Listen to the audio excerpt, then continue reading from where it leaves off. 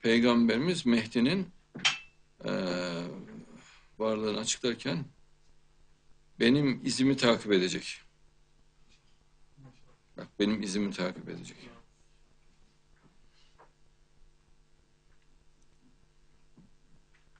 Hataya düşmeyecek diyor. Nedir? Ahkamda masum. Masum bir tek o, ona mahsustur. Yani İslam tarihinde, geçmiş peygamberlerin döneminde de hiçbir velide ahkamda masum olma yoktur. Bir tek Mehdi'ye mahsus bir özelliktir. Ahkamda masum olmak. Onun için masum imam diye bilinir.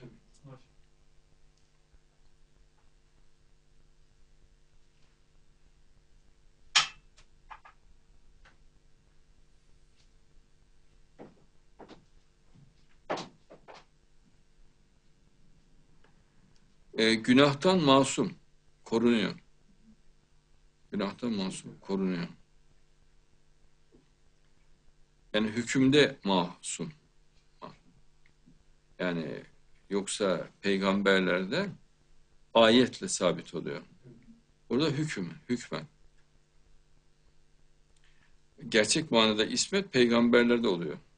Allah garanti veriyor vahiyle. Peygamber değil diyorsunuz. Mehdi velidir. Hateme veli. Gelmiş geçmiş en büyük velidir. Evet. Kendi dahi kendini bilmez diyor Bediüzzaman. Hidayeten. Yani bilmiyor kendisinin Mehdi olduğunu. Hatta o müthiş deccal dahi diyor, bidayeten kendisinin deccal olduğunu bilmez diyor. Ama o eşahsı ahir zaman diyor Mehdi. imanın nuruyla belki tanınabilir diyor.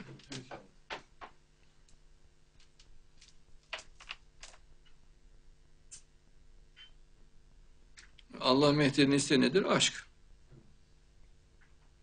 Mesela işte burnunu şöyle yaratıyor, kaşını görüyor güzel. Hep bir, bir güzellik olursun. Olaylar meydana getiriyor, savaşlar meydana getiriyor, çileler, acılar meydana getiriyor. Onun içinden çıkınca tabii daha güzel oluyor. Sırf onu güzelleştirmek için yapılıyor bunlar.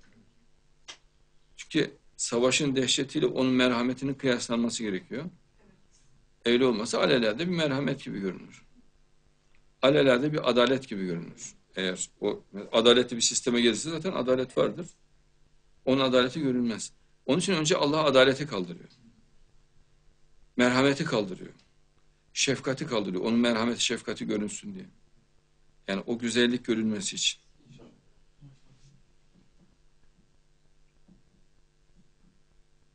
Piraye ne düşünüyorsun? Söylediğinizi düşündüm. Bana içecek bir şey gelmesi lazım.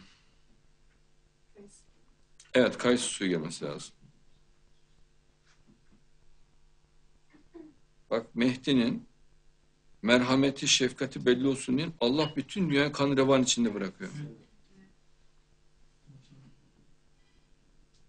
Yani akıl almaz bir dehşet dünyayı sarıyor. Ve akıl almaz bir adaletsizlik sarıyor. Sırf Mehdi'nin adaleti görünsün diye. Arada müthiş zıtlık meydana getirmek istiyor Allah. Amaç o. Mesela hiç ümit olmayacak şekilde oluyor. Mesela adam yıllar geçiyor diyor ki ne Mehdi'si ya diyorlar. Sıradan bir adam o. Olur mu öyle bir şey? Yani iddiaları da mantıksız falan. Öyle bir şey olmaz diyor. Hani olacaktı diyorlar zaten son zamanlarına doğru. Ayette de var ya peygamberler Allah'tan artık değil mi? Allah'ın fethi ne zaman diyorlar. Ya o kadar darlanıyorlar. Mehdi'nin de son zamanlarında hani diyorlar işte vakit geldi diyorsunuz. E bir şey yok. Nasıl oluyor diyorlar.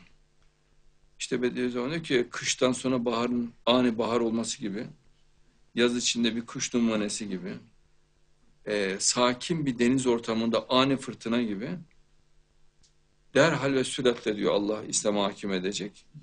Bu adetullah'a uygundur diyor. Yani müthiş bir süratle olacak diyor. Ani bir çıkış şeklinde. Mehdi'ye mahsus bir özellik. Yoksa öyle programlar, işte yavaş yavaş gelişmeler, hükümete oyun oynamalar, darbe yapmalar, efendim tuzak kurmalar veya siyasi faaliyetler, işte falancaya siyasi para yardımı yapmak, falanca ülkeyi desteklemek, oraya işte kuyu açmak, onunla mehdiyet olmaz. Allah'ın amacı aşk. Allah kuyu açacak olsa her yerde açar yani. Her, her yer sular altında kalır. O değil.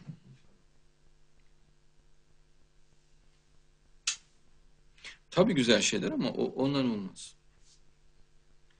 Mehdi'de Allah'tan yana olma vardır.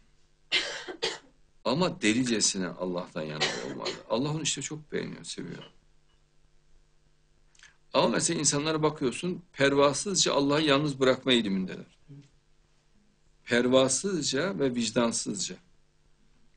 O kadar aciz olmalarına rağmen, hastalıklarına rağmen, yemek yemesi ölüyor. Uyuması ölüyor, su içmesi ölüyor. Bunca zavallılığına rağmen, doğal ihtiyaçlarına rağmen. Buna rağmen Allah'a karşı nankör, cahil, basiretsiz, ferasetsiz davranıyor insanlığın yüzde 99'u en az. İşte böyle bir ortamda vefa denizidir. Tabii. Mehdi. Allah'a vefa ediyor. Bütün varlığıyla Allah'tan yana oluyor.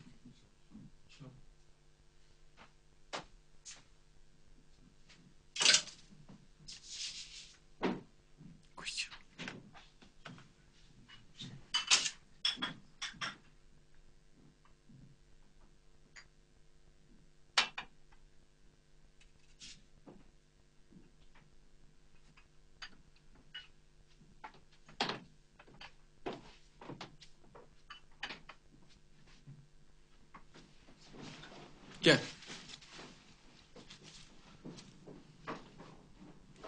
Olur.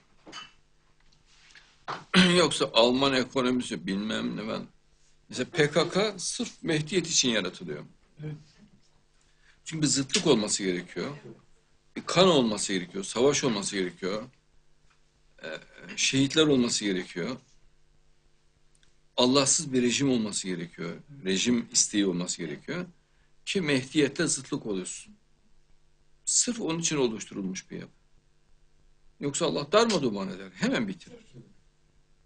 Yani sıradan bir hükümet bile çok rahat darmadağın eder. Ama öyle yaptırmıyor Allah. Mesela hep soruyor ya hükümetler bunları darmadağın eder. Acaba niye yapamıyorlar diyorlar. Değil mi? Her hükümet istese yok eder PKK'yı. Çünkü devlete baş edemez. Devlet bir karar verse darmadağın olur. Ama diyor ki ya bir esrarengiz güç bunu tutuyor diyorlar. Kaç yıldan beri deniyor bu? 30 yıldan beri deniyor. Değil mi? Garip bir güç diyorlar. Tarif edilemeyen bir güç hükümetleri tutuyor. ilgilileri tutuyor. Ve bu uzuyor da uzuyor, sürüncemede kalıyor da kalıyor. İlla ki o 40 yılı dolacak.